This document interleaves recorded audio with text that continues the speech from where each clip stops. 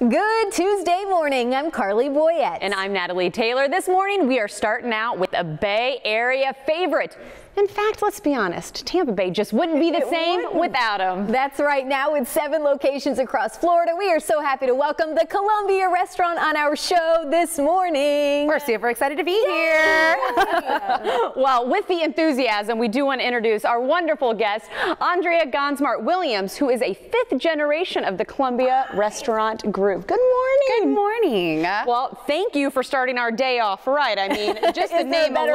way? Oh no, every morning's a good morning if you've got paella involved. Yes.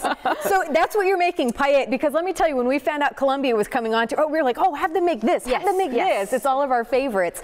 But I haven't had the paella yet. That's a shame. it is a shame, but not anymore. And you know, and it actually is pretty easy to make too, Okay. which people don't realize that. So I already have my oil going. so what is paella? Say, someone what hasn't heard of it, how do you describe so it? Paella traditionally is going to have, sorry about that, ladies. Um, it's going to have rice, Uh-huh. um, and then a base of a sofrito, which is going to have onions, green peppers, garlic, tomato, um, and then most importantly, what makes the rice yellow is going to be your saffron. Ah, saffron. And saffron is what? Saffron is a spice. It's a song. Okay. Yeah. and what I always suggest if you're making it at home to do is to mash it up and put it in your um, your chicken broth. So that way you Ah. can really infuse the color throughout your rice. Because what's a paella if it's not what yellow rice? Right, exactly. And what's the meat that you're cooking for? Because I know some people kind of have their own taste with what kind of goes in it. You can put anything in a paella. We're doing a traditional paella valenciana, which has this starting off with the chicken and the pork.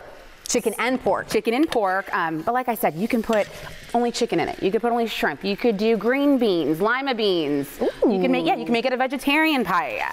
There are lots and lots of options. So once you kind of get your chicken and your pork browned a little bit, work on this just a more. I know. And we kind of, you have a finished dish for us. We're cheating for TV. We so do. You're kind of just giving us the of lowdown on how to do it. Yeah. Um, and now traditional paella valenciana has scallops. It has shrimp and um, calamari, which is also known as squid. it's got all of that in it in one dish. Mm-hmm.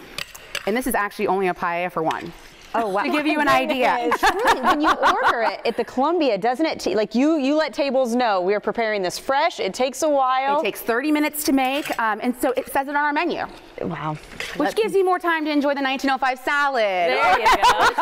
So here's my Natalie, and I'm sure this has happened with you too. Like sometimes you go, you know that there's a dish that you know and love, like the 1905 salad, and you don't, you're not afraid, but you don't like. Why try something different when you know that you already have something you love? Well, once you try the paella, it could be your next go-to dish. I guess so. You have You too have many. take you that have too many chance. go-tos. Okay, and then we're gonna add some shellfish.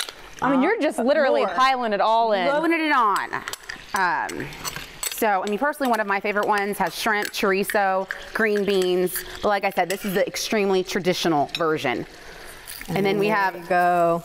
the arborio rice, which you can use any kind of rice. When I cook it at home, I do long grain rice. You can use short grain rice. I personally prefer the long grain rice at home.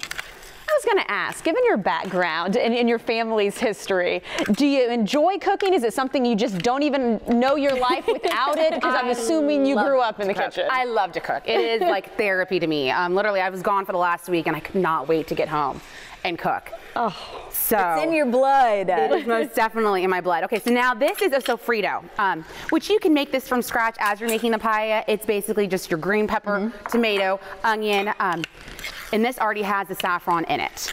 All right. So um, there's different ways. You, this is kind of a, a quick cheat that you can do if you have people coming over and you want to mix it up real quick. Go ahead and make your, sa- your sofrito ahead of time.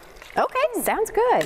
Hey, while you're stirring that up, we have to get your thought on uh, Cuban sandwiches, which is another one of your specialties. That's a heated subject. It is a heated subject. What is the correct way to make a Cuban? What are we leaving off or leaving on? Okay, well, if you go to the Columbia restaurant, and I feel very strongly about this, I know you do.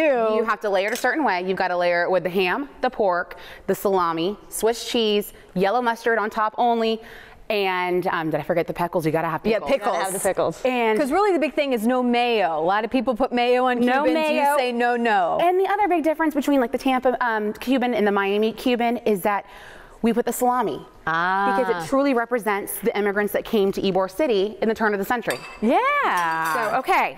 So All now right. generally what you're gonna do, you're gonna cover that with foil, And let it cook for how long? Um, you're gonna cook it in the oven. I'm just gonna put it right here for now. Um, and then you are gonna cook it in the oven for 20 to 30 minutes, depending on how your oven cooks.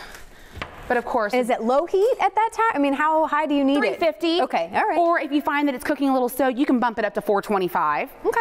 Um, but then We have just about 30 seconds left, so let's. is oh my, oh my gosh! Wow. So this is what the pie cooked up looks like, and I'll serve it up. And then you usually have your garnishes of peas, pimentos, lemon, and white asparagus. This isn't for one, right? This is for the two. Okay. I want to make sure you had enough to Jeez Louise. I love it. Well, thank you so much. Thanks to your family great. for you know Thank you so expanding and allowing more people in the Bay Area. And you guys are almost. Uh, you just keep. Ex- is there is there plans for more expansions? You think? There is always a possibility. I'm We're sure there looking. is. Well, thank you again.